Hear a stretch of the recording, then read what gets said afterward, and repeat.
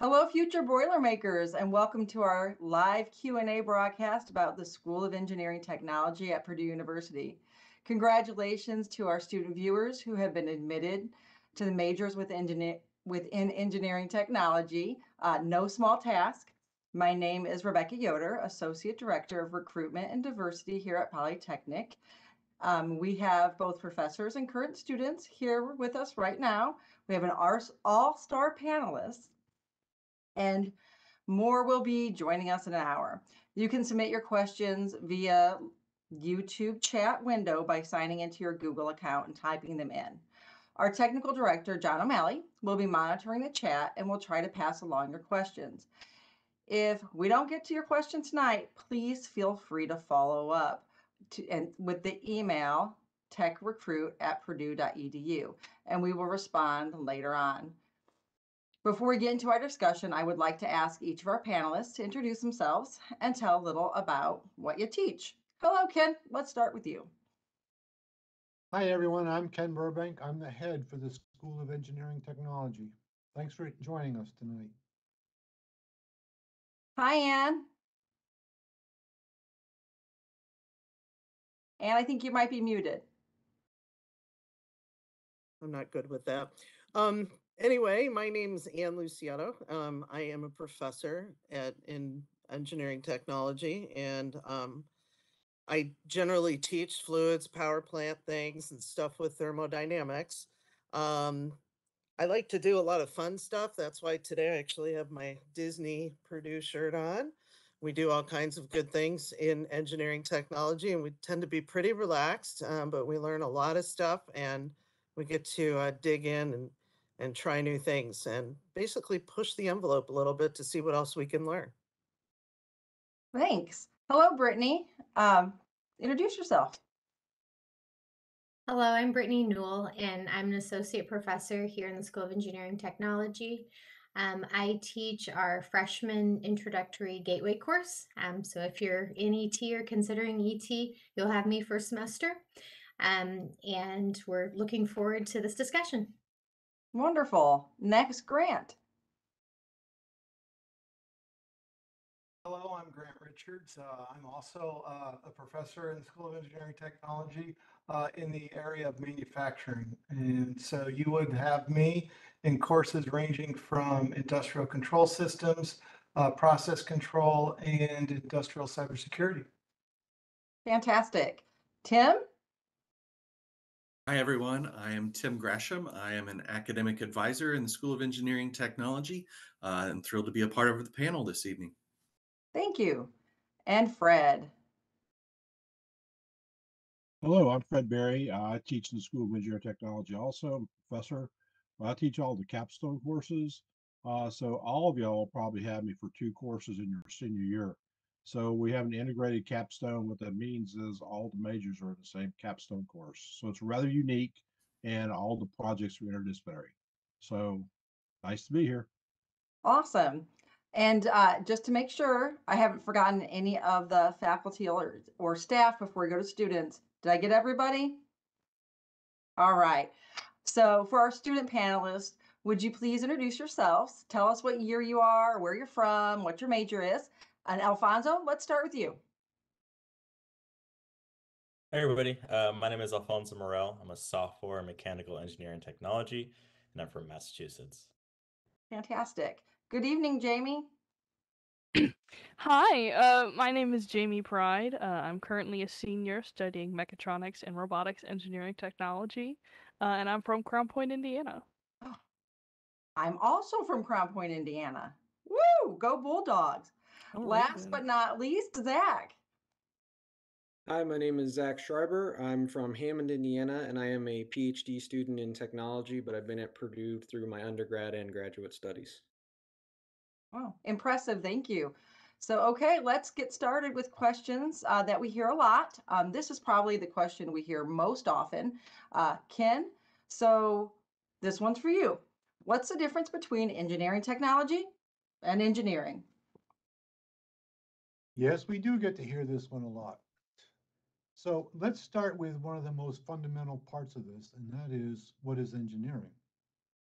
And One of the big confusions is that when you talk to a, on a campus, the confusion is that engineering is actually a profession. And there's multiple engine, um, educational pathways to get to that profession.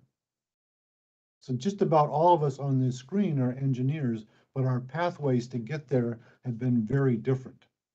Um, and it doesn't have to be with a name engineering in the sense that physics majors can become engineers. Chemists can become engineers. So what, what is it that makes us unique here in this School of Engineering Technology? It's not so much that our students are going to become engineers, but it's how they learn to get there. Our learning is much more applied, lab-based. Uh, we say learn by doing experiential education. Almost every one of our courses has an associated lab with it. You actually get to use equipment that would be used in industry to learn the practical side of the theories that you're learning in lecture. Mm. As an instructor, it's a lot more fun because you actually get to do things. And so hopefully that helps, but it's very much an applied engineering education program. Well, it helps me a lot. Um, but also, we have questions about what kind of jobs do engineering technology students get when they graduate? And do companies want to hire our kids? So again, another question that we get asked a lot, but we also get asked this question a lot by industry because they want to come in and grab them all. Um, to the point where, I, I, as you heard earlier, Professor Berry teaches our capstone class. It's not uncommon for all of his students to be gone by spring semester of their senior year. So we like to tell employers, if you want to get to know our students, you better start talking to freshmen and sophomores before they're gone.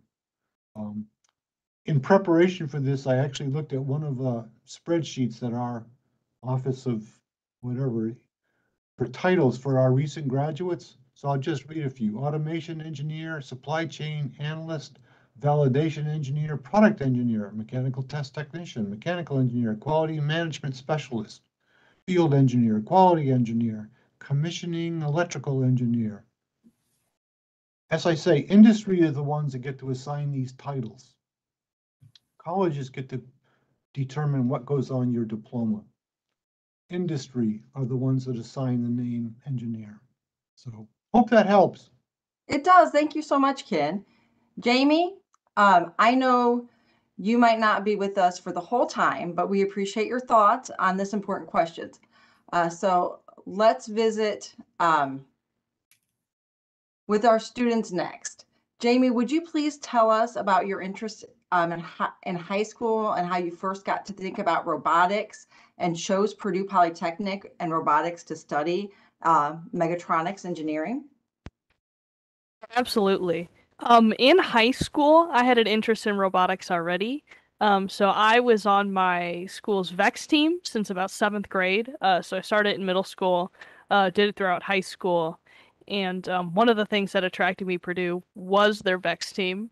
Um, I knew that was something I wanted to pursue along with my major, uh, and that definitely drew me towards this university.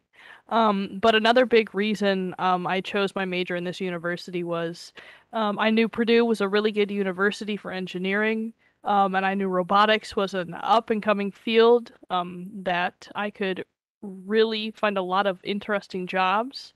and since I already had been doing robotics, you know, why not? I already enjoyed it. Um, and then I chose engineering tech over engineering um, because I preferred the hands-on application. Um, I've been learning robotics by building robots and going to competitions and things of that nature. Um, and the class structure was very similar, and I was able to learn uh, a lot more and a lot more efficiently um, while going through the Polytechnic. Thank you. That's a great answer. Alfonso, similar question for you.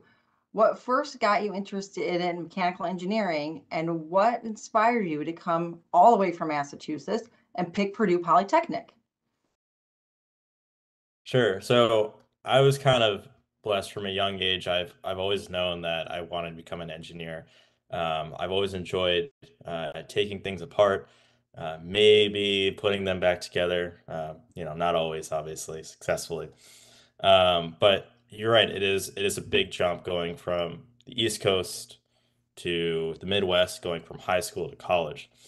Um, I wanted to explore a different part of the country. Um, so uh, coming to the Midwest was definitely a culture shock, but I wanted to absorb new experiences. I wanted to learn about a different lifestyle, um, and I just wanted to gain a little bit more perspective.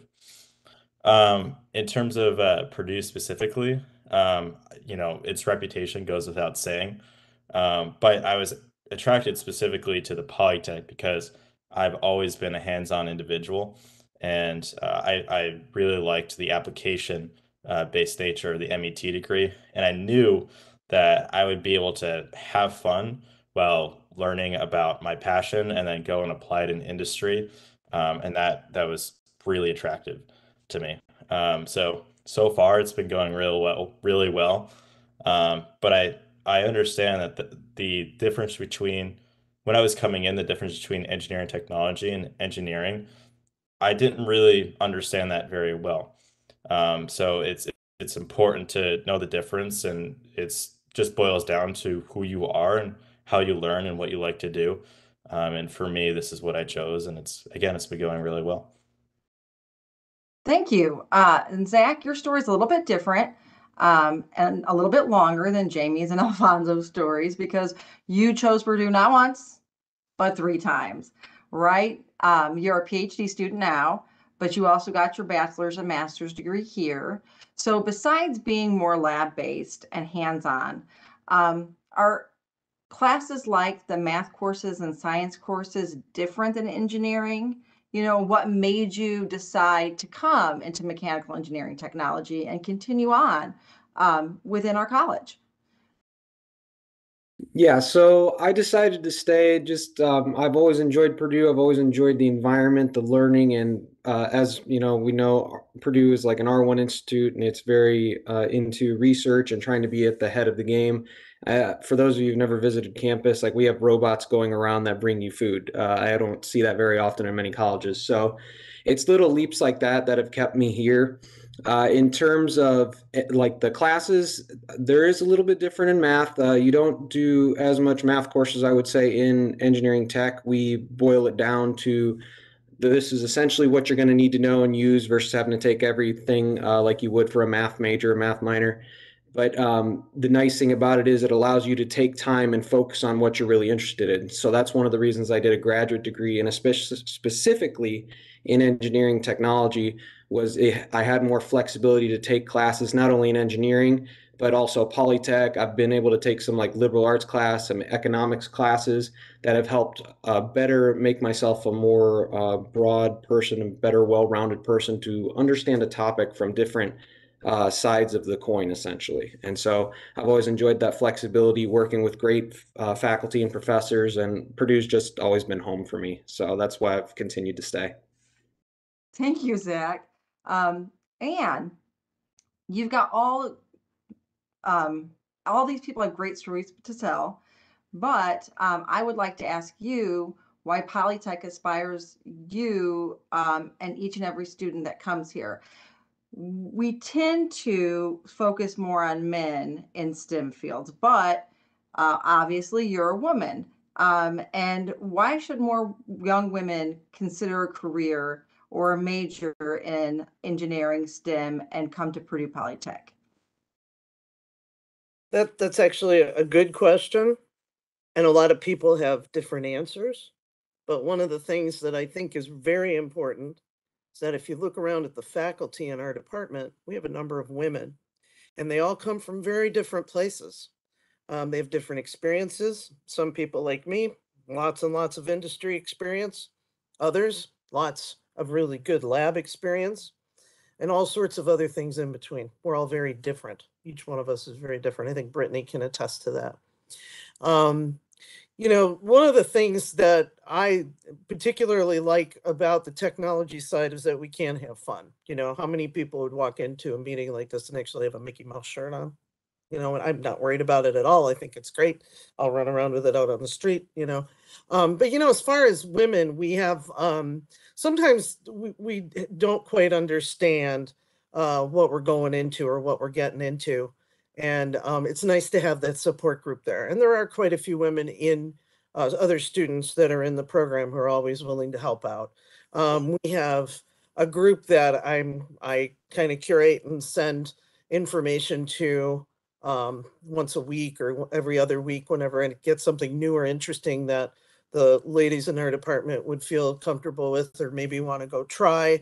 Um, we do activities and we encourage uh, supporting one another. Um, we have guys who come to our programs and they and they enjoy interacting um, with the people in the group too. So um, you know, there's just all kinds of things that we do to try to help each other out and just encourage support from within. Fantastic. What kind of things do you hear from women who are current students or graduated from engineering technology about ways that they've been prepared in at Purdue um, and how Purdue's a welcoming place? So the the graduates that that I know and I've kept up with, which have been quite a few, um, they really feel like they've been super prepared when they actually launched into their career. They were ready for it. They knew how to handle themselves in technical situations. They knew how to speak the language. I think that sometimes is the most important thing. Uh, understand what someone's saying to you uh, and be able to interact with that. We've also had a number of people who have um, taken different turns with their careers. They've done, you know, they've gone off and, and tried different uh, different things. I know one in particular is actually working on um, furniture, and that's something that you would normally think about coming out of an engineering, te- uh, any kind of engineering, engineering technology, whatever program. It's not something that would be at the top of your hit list. I've got one young lady who graduated five years ago, and she's running a department at one of the large firms in the Indianapolis area. Um, you know, so I mean, whatever you put your head to, basically the degree opens the door. Coming from Purdue opens the door, and coming out of technology opens the door even more. Definitely, we're seeing our students getting picked up earlier and earlier in the school year. It's really kind of nice to see. That's awesome. Thank you so much. Um, Brittney, uh, we want to do everything we can to encourage everyone to pick Purdue, of course. Uh, so um, it's great to hear your perspectives. I'd like you to come, Brittney, I'd like to come to you for this one. There are a dozen majors in the School of Engineering Technology, but every engineering technology student takes at least one course together, and that's their first course. I'm thinking about your Engineering Technology 182 course. Yes. So um, when students first come to Purdue um, in the engineering technology program, they're all pulled together into our gateway course. And so we teach a little bit about each type of different major that we have and try to give students a good explanation on each to make sure that you know what you're getting into and that it's a wonderful fit for you. So we give you lab experiences, lecture materials, we have recitations um, where we'll help you through problem sets and and working through lab experiences as well. Um, so you get a feel for the core areas of what engineering really is. Um, and it's kind of nice because we do have that interdisciplinary environment. Um, so students get to talk, like Anne was Anne was discussing, communicate with you know supply chain with robotics and mechanical with electrical across all of the disciplines, which coming from industry is a very key skill. Um, and then most students will actually come together again in Fred's class in our senior capstone. So it's kind of a um, cornerstone and then the final capstone event that occurs through our curriculum, which is definitely unique. So what else can you tell us about plans of study for various engineering technology majors? What are some similar um, things students are doing first year? Um, and when do courses start to get more specialized based on specific majors? Uh, and is it possible to double major or minor? Sure, I'd be happy to answer that question, Rebecca. As, as an Okay. advisor, um, as you mentioned, we have over a do- we have a dozen different majors within uh, the School of Engineering Technology. Um, you know, ranging from audio engineering technology to robotics, uh, uh, where Jami is, robotics and mechatronics. Um, and what we see is that a lot of students in that first semester specifically uh, share a lot of the classes together with Brittney's ENGT 182 class, that gateway course I love that they all start together. And as she mentioned, they all wrap things up together uh, with Dr. Berry. Um, and so it's just, there's a lot of similar classes that they will see each other in those that first semester. But it's really neat that almost uh, right off the start, though, that second semester, they start getting into some more specific courses uh, where they can kind of dive into those interest levels that they have. Uh, it's very exciting to see them come, you know, especially in our building now in the new Dudley building, which you'll talk about, where a lot of our labs are, and seeing them come out of those labs. Uh, first of all, maybe a little overwhelmed because you know it's a lot of work, but also really excited because it's all this hands-on learning uh, that they're uh, participating in. Uh, we do have a lot of students who do double majors, uh, like Jami with the robotics and mechatronics. Uh, that's a very common double major. We see a lot of students who will double major in audio engineering technology as well as electrical or computer and electrical. And so there's absolutely opportunities uh, to, to double major, uh, to add minors to your program as well, uh, to continue to develop the program uh, that suits your interests and where you want to take it uh, professionally when you graduate from Purdue.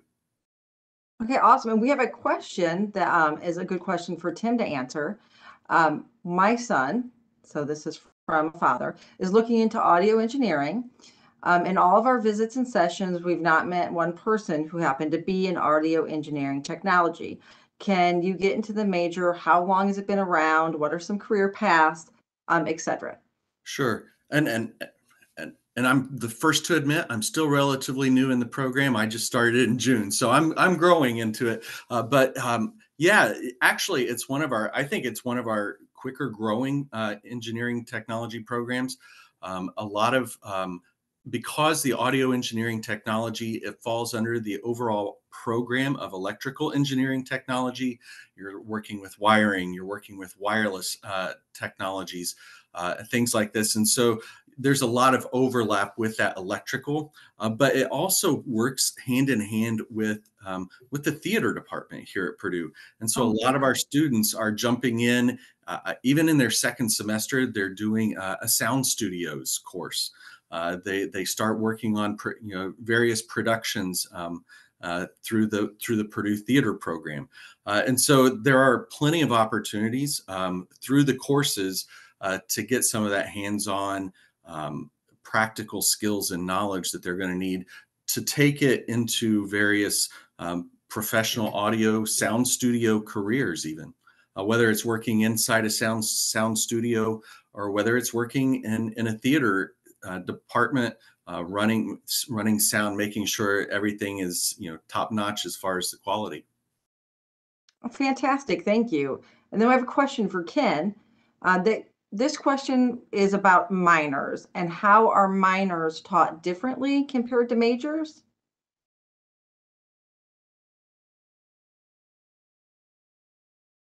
I don't fully understand that in the sense that the the classes are the same. Okay. So a minor, if you want, is a smaller collection of classes than a major. Um, but it's, it's the same classes. I mean, students, we may have majors and students with minors in the same course at the same time. So the material is exactly the same. It's uh, like Zach mentioned that he's taking classes from other departments around campus. So students can use minors to mix and match different flavors uh, to, to add perspective to maybe what their major is. So it can be Oh. something completely different, like entrepreneurism. Okay. Um, and then he also asked, can engineering technology be taking as a minor at Purdue? Um, and so I feel like uh, just maybe some clarification on exactly what the minor titles were be, because I think that that might help. Um, I- Sure, I, I I have that pulled up right here, Ken, and I can share that. Great, thank you. Um, the various minors that are available within the engineering technology program are, um, uh, first of all, electrical engineering. Um, you can receive a minor in electrical engineering technology, uh, supply chain engineering technology, as well as uh, a smart manufacturing enterprise minor. And as Ken said, it's just taking uh, where, wherever your major emphasis is, you're adding a handful of additional classes in that minor area, whether it's electrical, smart manufacturing, or supply chain. Thank you so much. Um, so here in the School of Engineering Technology, we like to say it's the way that you learn and it's important. Um, so Grant, we are very proud of how much our students get to learn by doing. Um, we're lucky to have a brand new building uh, with state-of-the-art labs that just opened up for our students earlier this year. Would you please tell us about the Gateway Complex, known as really Dudley and Lambertus Halls? Sure, I'd be happy to. It's it's a very exciting time around here. Uh, very rarely do you get to go from working in a hundred-year-old building that has a, a great rich history and get the opportunity to start with a clean blank slate and design teaching facilities that are focused on really the careers of the future, not the careers of today or the careers of recently past. Those careers that are going to be emerging here in the next few years and those technologies that are just around the corner. And so as we look at our facilities, we had an opportunity to really reach out and look at the latest technology and look where all of the new potential career paths were and make some really creative decisions in these facilities. And uh, it allows us to engage our students with technologies that are just around the corner. So when they go out and they graduate, they are going to be right at the tip of the spear they will be probably the most knowledgeable people in a particular organization on these technologies because they they've learned them right as they've come out and right as companies are adopting it. It's um, we host the, the attention around these facilities has been amazing. We host industry visitors all the time and they come into our labs and it's amazing the response. They look and they say, wow, this is where we're planning on going. We're not there yet and yet we're seeing it here. And they now get a, a really solid understanding that if they're going to go hire people to help make those changes in their companies and bring these technologies in, they need to come to us. And we hear this on almost a daily basis. And so this having the ability to really um, design new facilities gives gives our students a great advantage because um, we can really focus on on careers that that are going to put them really ahead of everyone else in terms of, of their experiences. Thank you. Um, would you like to tell us more about your labs and what students are learning in your labs uh, starting this fall? Sure. Uh, as we have a number of labs. So the nice thing is, um, in this large building that is the largest academic building on Purdue's campus, um, we have, uh, say, an outsized share of the of the laboratory facilities within that. Uh, among those, I have uh, three that I'm working directly with. Uh, the first is the Industrial Internet of Things Laboratory. Uh, the second one is the Intelligent Process Laboratory. And then the third one is the Smart Learning Factory. And each of these are pieces that work together in developing a, a manufacturing ecosystem uh, that really is representative of what it would look like from end to end if you were going to build a product. We also have a, an intelligent foundry, so we can go from creating a casting of a part using advanced robotic pouring with analytics and machine learning that are informing that process to taking that part, bringing it in in conjunction with other technologies, whether it be smart sensors, whether it be uh, control, uh, compute, other types of devices and then building a, pro- a, product in our factory using components that we've create, crafted in-house and learning how all of these systems communicate with each other and really that new important element that at least in the manufacturing sector is really changing what is going on uh, across the entire sector. And that is the role of data and how data is informing systems and how you take data from sources that maybe you didn't have before with smart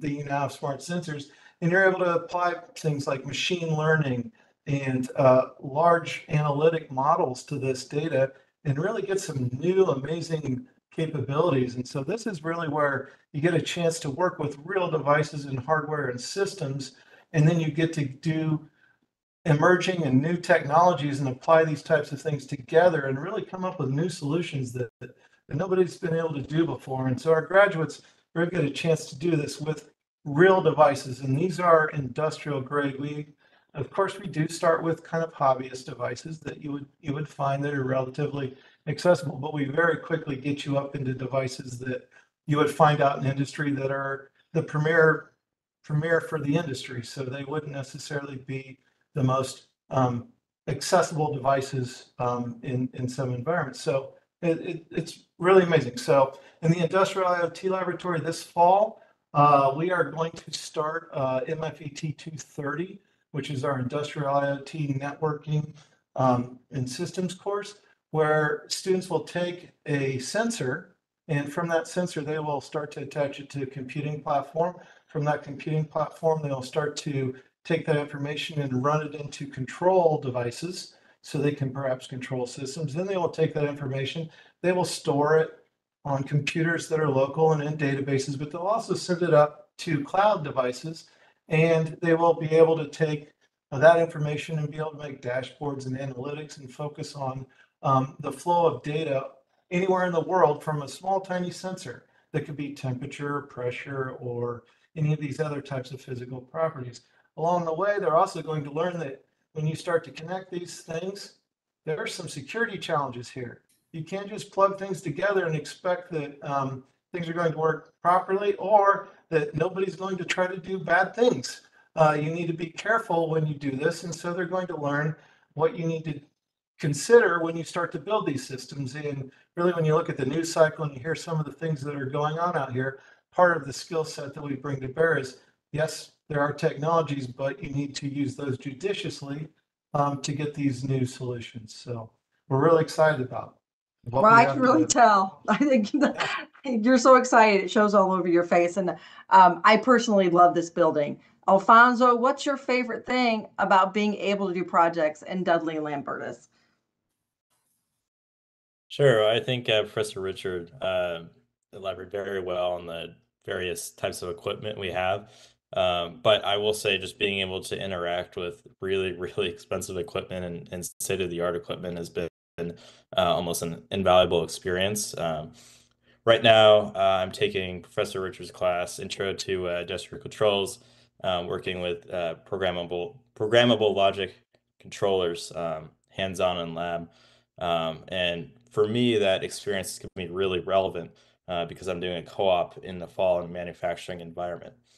Um, so again, it's it's invaluable experience, and what's really cool is that the companies are are involved in the lab. They're you know we're using their equipment, we're using their software, and it's going to be extremely relevant when we immediately go into industry.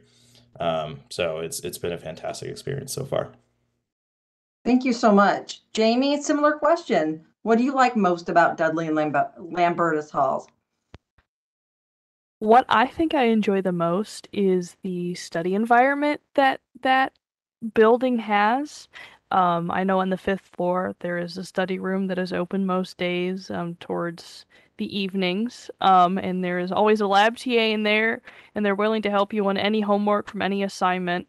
Um, and they were put there because they were knowledgeable about general things. Um, and you have that entire lab space to work on your lab projects or any other homework you may need. Um, and a lot of the professors are already in that building, so if you need to use their office hours, you're already there. Um, not only that, but there's a lot of individual rooms that you can utilize with groups, um, and those have computer screens that you can use you can work on presentations together and a lot of the walls have whiteboard paint on them so you're able to write on them when you're doing all those hard equations and things like that um, so not only is um, all the industry good there but from a student perspective it's it's just a wonderful place to do your homework with your other techies Fantastic. And um, jumping on that, we have a question from Nicole, and she asks, are there any study group sessions organized through Polytechnic School for each class?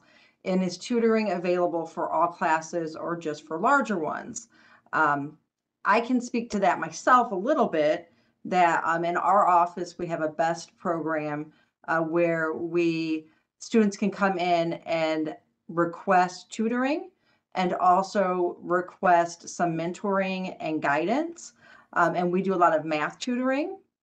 Um, but I will also turn it over to the panel of experts within SOET uh, to answer that question about tutoring um, and support. Let's go with Tim. Sure. Yeah, and, and that's something that we, uh, as advisors, we certainly encourage students to to connect with BEST. Um, as Jami mentioned, this new uh, in Dudley Hall, the the open lab uh, that is available has been a tremendous tool for our students, and I know a lot has been uh, invested not just in the equipment but also in the personnel to be in that room to help students uh, in a number of different topics, not just uh, whether not just electrical engineering or anything like that, but a variety of topics. Uh, we also do encourage our students um, when they come to, to us and say, Hey, I'm struggling with this class. You know, we, we encourage them to reach out to their instructors because what we've found is that most of our instructors will will engage with them and they they love to engage with students on a personal level and say, okay, you know, I'm struggling with this concept. Could you give me a little clarification? Uh, but setting up those times to, to maybe go meet with a professor to find that extra extra bit of insight uh, that maybe is uh, is missing a, a, little bit from their understanding. And so there are certainly opportunities to to find those stay groups. We also uh, encourage students within individual classes that okay, uh, find a group of people that you enjoy working together and you know what somebody may be strong in one area and somebody may be strong in another uh, and so you can help each other out uh, and grow together as students. Awesome. Thank you so much. I know that my son loves open labs and appreciates uh, the attention that he gets and the questions he gets answered within them. It really um, that helps that hands-on experience and that theory come together for him. Um, who absolutely is a student in the School of Polytechnic School of Engineering. So uh, technologies makes me so happy and proud. Um, Zach, as a graduate teaching assistant, what's your experience so far with teaching courses for undergraduate students in this new building? And why should future students think that this building um, is a big deal um, and maybe even a reason to pick Purdue? Uh, well, kind of like Professor Richards talked about, uh, this building is brand new. It's got a lot of new equipment. I'm old enough where I actually was in the old building when I was in my undergraduate classes. And so I've gotten to see, you know, some of the old equipment that we used in my labs to whether like to cast an aluminum part, weld some things together, uh, do some hardness testing, work with PLCs, and the list goes on and on throughout the entire degree. And so one of the cool things is seeing the new equipment, getting possibly to work with it and understand how it's going to work. So when you go on to industry and work in industry, like I've done in some internships, you already have a good understanding of how this these equipment work and so that's a great experience that you sometimes can have uh, above sometimes in engineering. Some of those don't actually get as much experience with that equipment depending on the major and the classes you take. And so that's uh, one of the greatest benefits i can say is the new equipment. And then uh, uh specifically i teach an electrical class and all of the labs there have very similar equipment in this new uh, building whereas in the old building it was kind of some was newer some was older and it was very hard to go from one room to another and do work Whereas now you can almost go into any room and do the same electrical experiment that you need to because the equipment is common. So that's been some changes that I've seen and what makes a difference, I think, for students in our in our college. That's super exciting. Our next question comes from Andrew, um, and he um, is asking Ken what the student to faculty ratio is um, in the engineering technology department. So that's a, I realize that's a nice question. And it's one of those easy data points to compare perhaps. Um, but it doesn't always tell the whole story. So for instance, here on the West Lafayette campus, we have about 1,300 undergraduates and we have 50 instructors. So, you know, you could say, well, that's 26 kids per instructor. However, as we've said over and over, every one of our classes has an associated lab. Well, our labs are typically pinned at like between 12 and 16 students. So yeah, the lectures may be a little bit bigger, but the recitations and the labs are always smaller, much more intimate, much more, um, a lot more face time with the instructors or the teaching assistants. So this whole student to teacher ratio is, is a variable in the sense that uh, it depends on the class and the time. But everybody is going to be in a section with on the order of 15 kids, probably three times a week t- to be able to have face-to-face time with an instructor. Thank you. That makes a lot, that makes a lot of sense to me, Ken. Thank you a lot. Um, and then for Brittney, we have a question. Um, are freshman year classes just as hands-on as classes in later years? Yeah, um, so I would definitely say yes, since we have the lab experience as well. In my course, students will they'll solder, they'll build circuits on breadboards. Um, we'll use Arduino microcontrollers and do some programming. Um, we build little um, little tiny robots um, that they drive on little paths. And uh, we also do force tables. Um, we do we build truss bridges. So it's definitely a, a hands-on environment. Um, we talk about those topics in our lecture environment um, and then do some of the engineering theory there um, and the and the math associated with it and then we execute it in the lab environment um, in the freshman course we don't go into as much depth so um, in the later courses you'll use the things that grant and zach have been talking about um, some of the higher higher level equipment and continue those basic concepts but yes it's it's still very hands-on Thank you. Um, and another question we have, um, and I'm going to shoot this one over to Tim. Um, how can Polytechnic Institute prepare students for a master's in mechanical engineering um, at Purdue? Um, also, uh, can you touch on doing graduate degree work in mechanical engineering technology? Um, I have very little experience. I'll be honest with you about with the with the graduate program.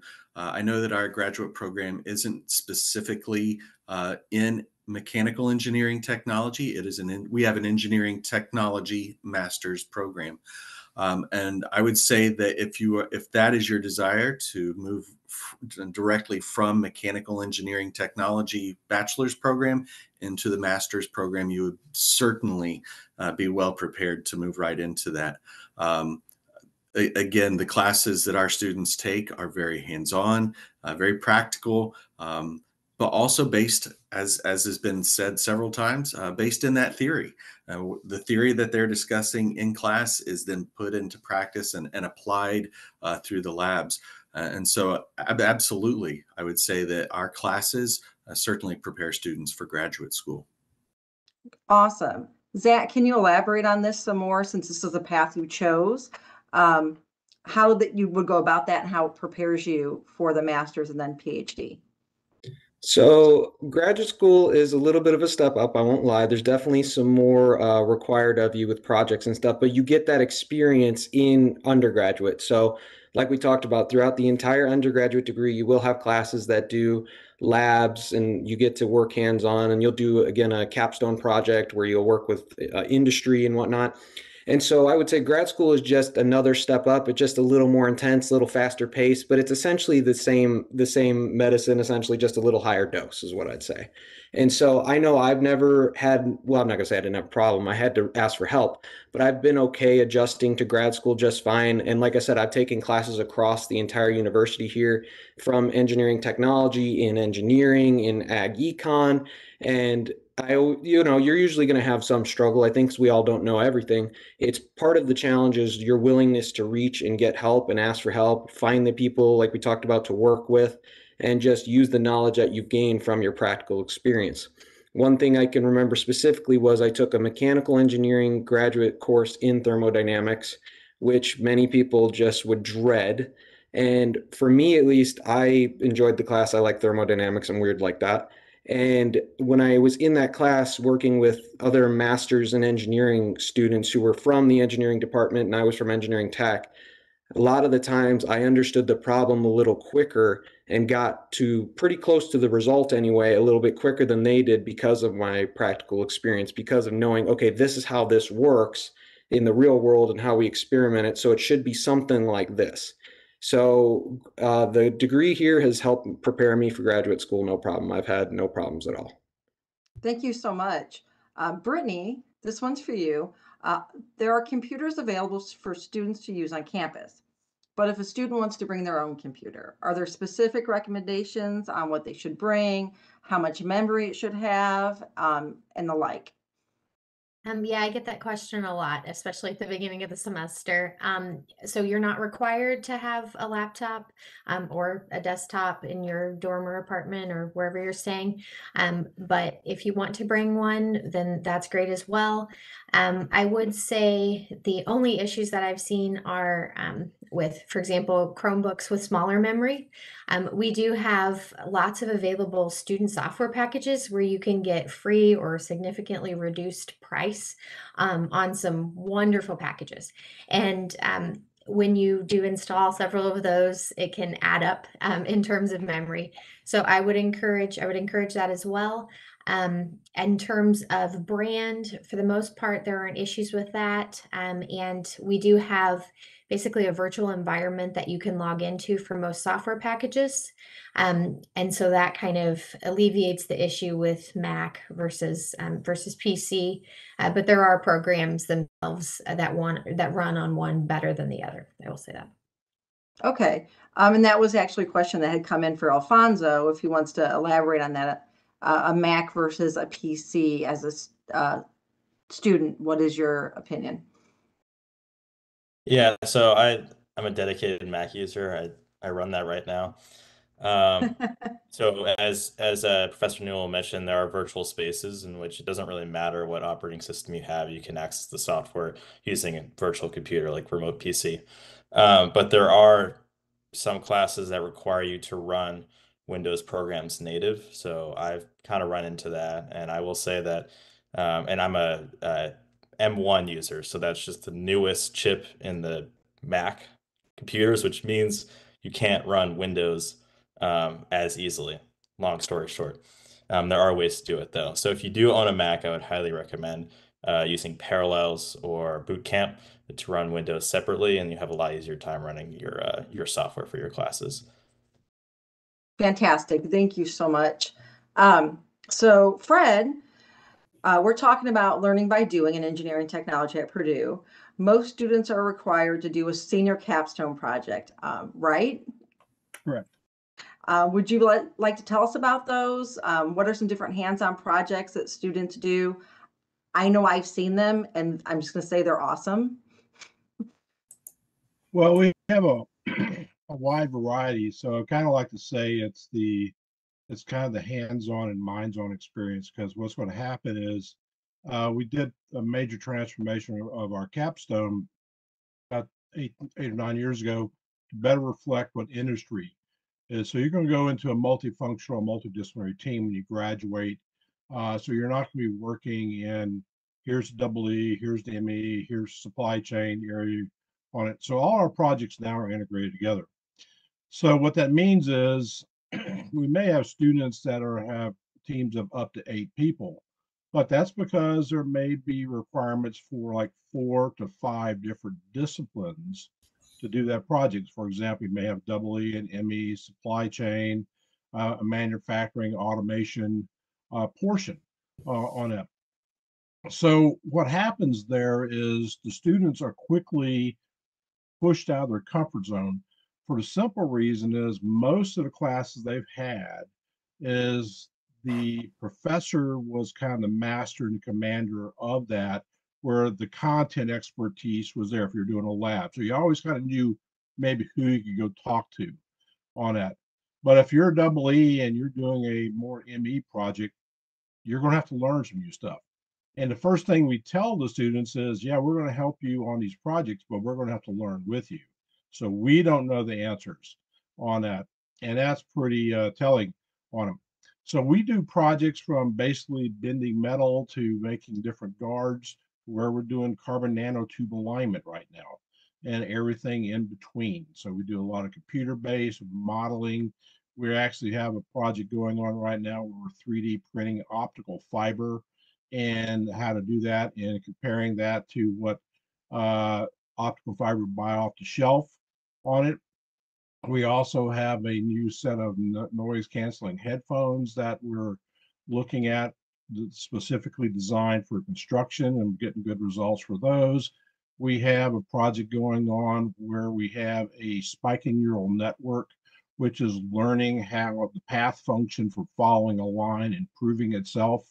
Um, we also have projects where we have uh, gesture controls uh, for robotics, where you could come in and take control of a uh, robotic uh, a robot or a manufacturing process just with your hand gestures uh, using either an AR or VR system or another type of wearable uh, on it. So we have a, a huge variety of projects. We run about 40 to 50 projects uh, a year. So uh, we have two starts to capstone. One is a fall spring, and that has about 180 students going in it right now.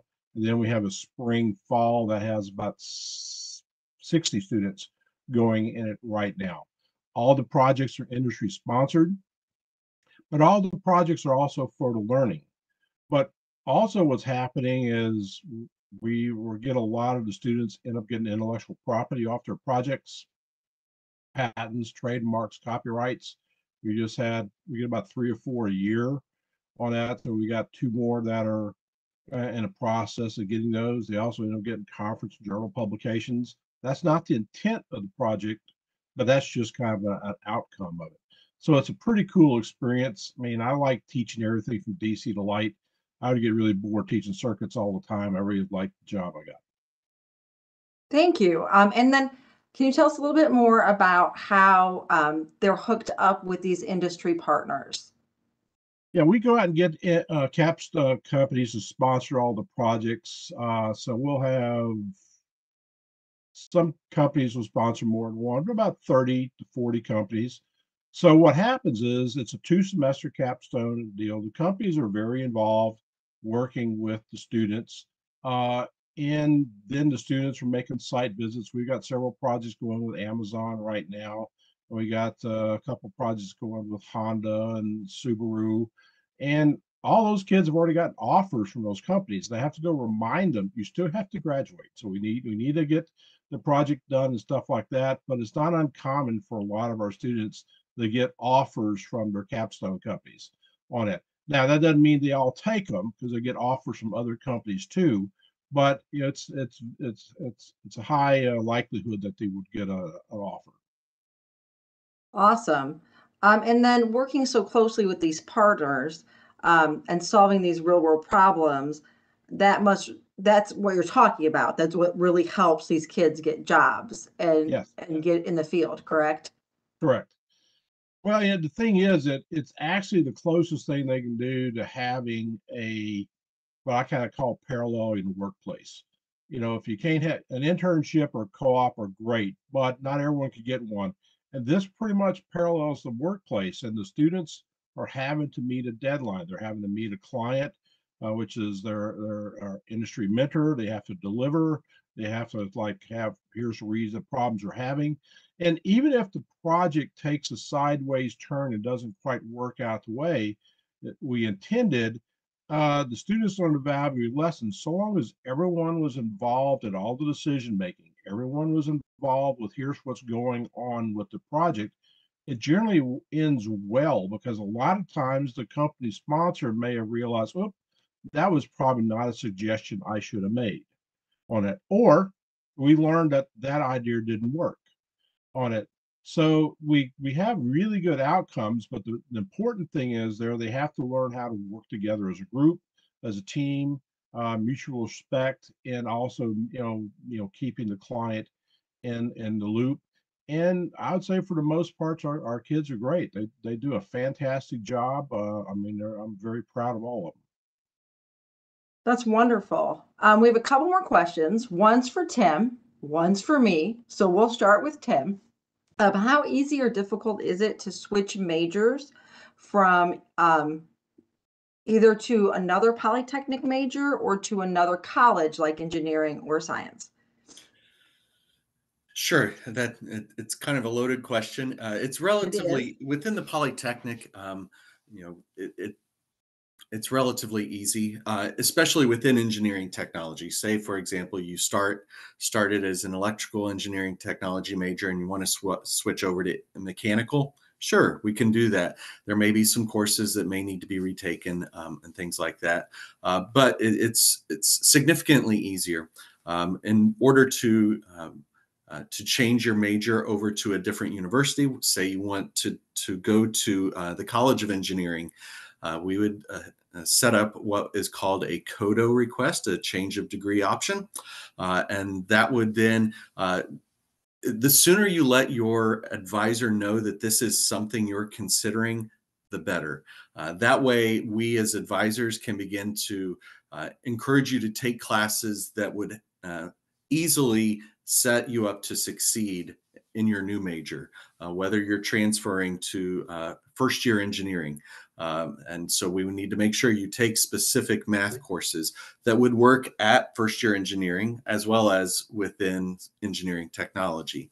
Uh, same thing when it comes to your physics courses, your, your chemistry.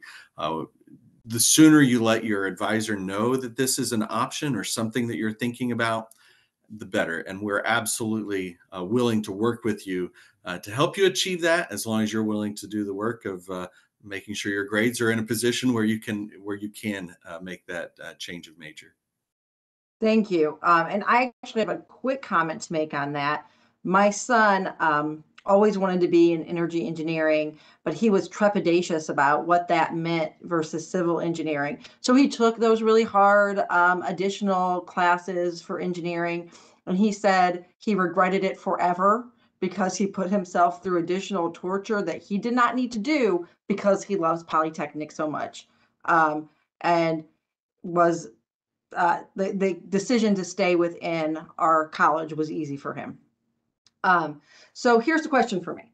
So if you've not, if you've accepted your offer and you've paid your deposit, can you still attend upcoming Purdue visitation days for admitted students? You absolutely can. Um, that being said, it's going to kind of be difficult because they're all full. So we have waiting lists that you can get on. Um, also, you can continue to check. I don't know if anybody else is a Disney fan. I know at least one person is on here the panel. Um, it's kind of like when you want Disney reservations, uh, and you just got to keep checking. You just got to keep checking all the time to see if somebody canceled, um, and then kind of slide in there and get one of those dates. So you can also um, visit on your own um, and make some arrangements with the Office of Admissions um, and call our office, contact us um, to come and ask us questions as well when it's not one of those days. But that's the best um, advice I can give you is to keep checking that calendar to see if somebody uh, cancels a produce for me. Uh, as of right now, they're full. So it's about time to wrap up, uh, but before we go, I'll ask um, each of our panelists a question.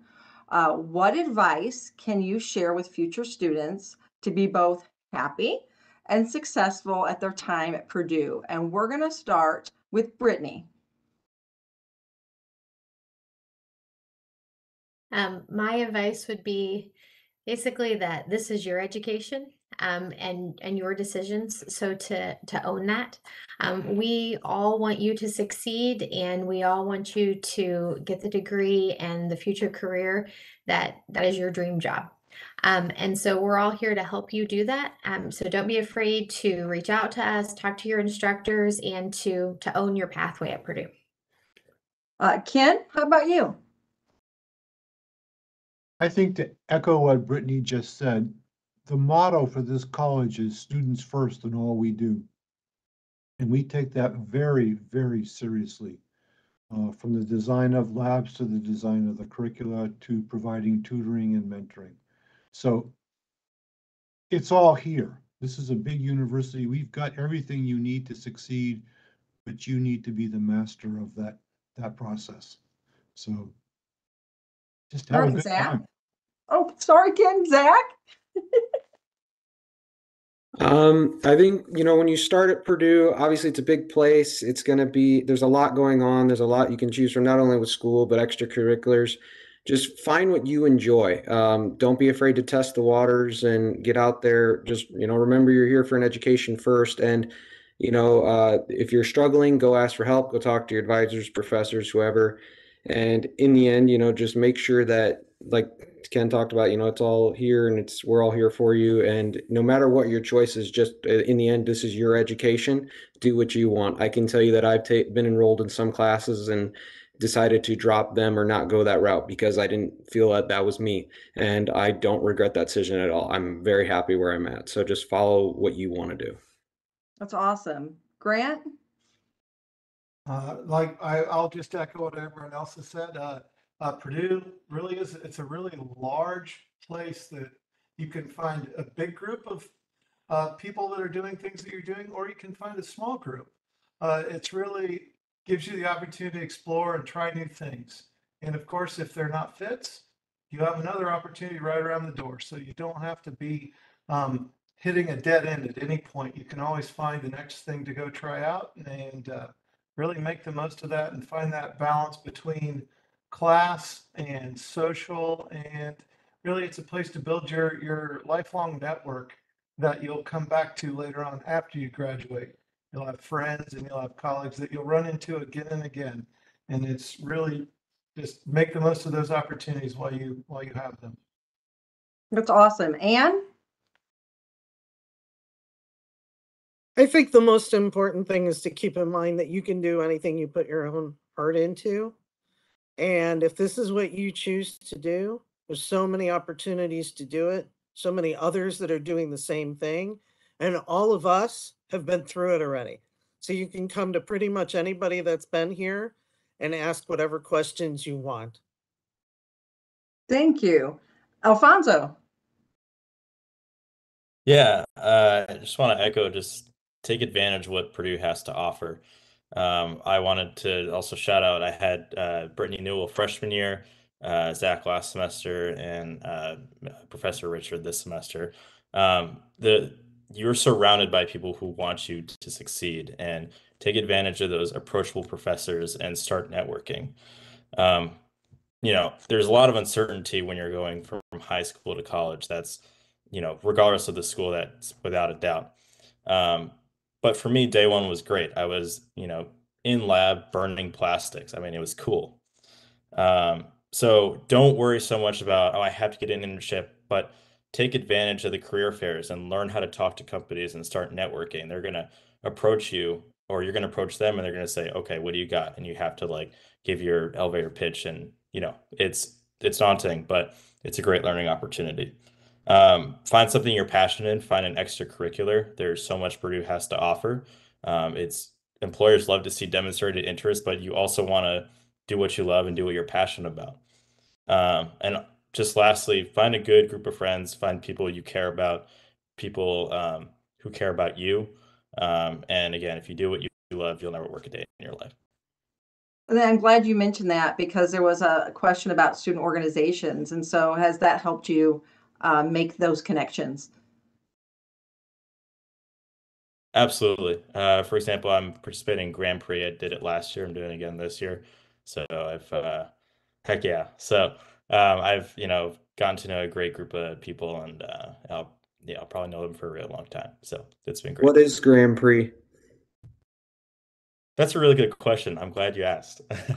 so uh, every single year, uh, Purdue hosts the, the Purdue Grand Prix. Uh, we have a track on campus. In addition to an airport, we have a racetrack. So that's the reason I came to Purdue. If you're wondering, that's a real reason. Really? Um, and it, they're just go karts. So there's not like cars, but go karts. They go really fast around the track. Um, and student organizations, residence halls uh, will put together a team. Um, the biggest challenge for Grand Prix is passing tech, tech inspection. And then from there, it's just racing and, you know, just going as fast as you can. It's a wonderful experience. I would highly recommend.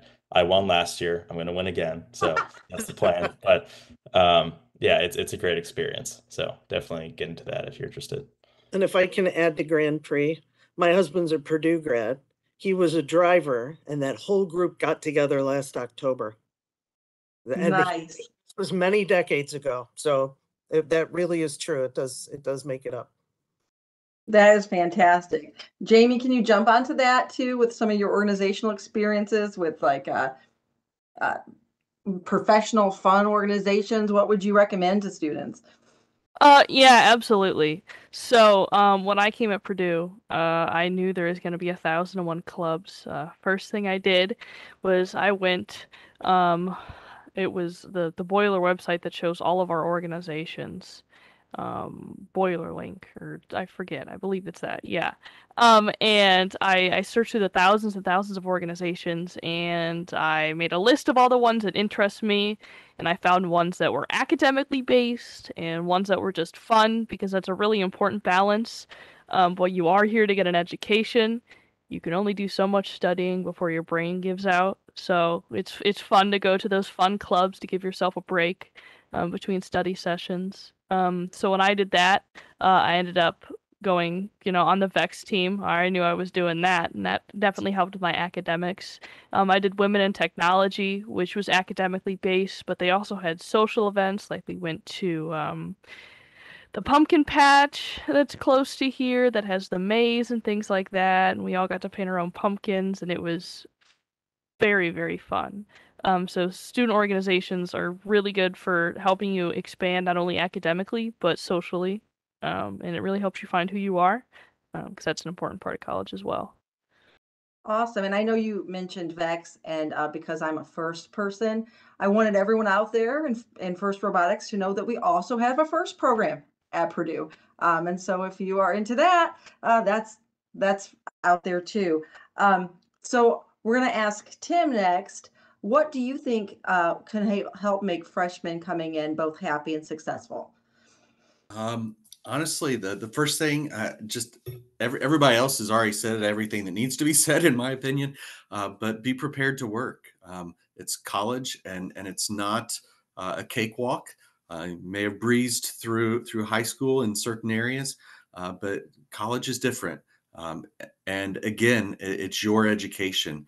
Um, you know, mom and dad aren't standing over your shoulder making sure, okay, have you got all your assignments in?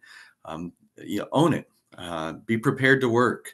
Uh, but along the way, there's so many opportunities to have fun, uh, whether it's watching uh, a 25 time Big Ten champion basketball team, brand new football coach with an updated, renovated stadium coming, uh, or finding your smaller you know, group of friends that you're just hanging out with. Um, so many opportunities. Uh, but you know, be prepared for a different experience than high school. Thank you. And finally, Fred, what do you got? Well, I think uh, everyone's kind of said it all, but you know, I would kind of reiterate, you know, make sure that you uh, realize 100% of your faculty want you to be successful. And we're here just to service you. There's no other reason for an institution like Purdue to exist other than to serve our students uh, on that. So, I mean, realize there's so much help if you need it but also uh, like everyone else, you know, find some fun things to do uh, on it. Uh, but yeah, I would say just remember we're all here to help you, and that's the reason we're here. Thank you. Thank you. Well, that concludes our discussion tonight, and thanks again to all of you for watching, for submitting your questions. Uh, we sincerely hope you learned something new about the School of Engineering Technology at Purdue. Uh, thank you to our all-star panelists for joining us and sharing their wisdom and experience. Um, if you joined us late, be sure to watch the replay because we talked um, with even more professors earlier in the hour. Um, thanks to as well to John, our technical director, for all the behind the scenes work that I couldn't do, um, and Diane Roselle for helping answer questions in the chat room. So um, she is the person that did that. If you asked have questions and she answered you quickly, um, she is a champ. So as I mentioned before, please feel free to send us an email at techrecruit at purdue edu. If you have any additional questions for us uh, about engineering technology at Purdue, um, you can also call our RD office um, and ask those questions. We hope that you will join us for one of the more upcoming events for admitted students, including Purdue for Me, which we talked about, is full, but keep checking, um, which is an opportunity for your uh, family to visit campus. Again, you can also arrange things um, outside of that. There's also many online information sessions to come, like student-to-student chats. You can find information for all of these opportunities on our admitted student information page. You may like to see one or more of the other YouTube broadcasts. Coming up in April 12th, there's a YouTube broadcast that will focus on student life at Purdue for all students admitted to Polytechnic majors. Replays of recent broadcasts focusing on women in technology, diversity at Purdue, um, and within Purdue Polytechnic are also available.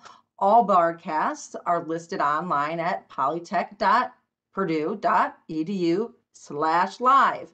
Um, just a quick reminder, the deadline to accept your offer of admission is May 1st. Um, thank you again for joining us tonight. Have a great evening and boiler up.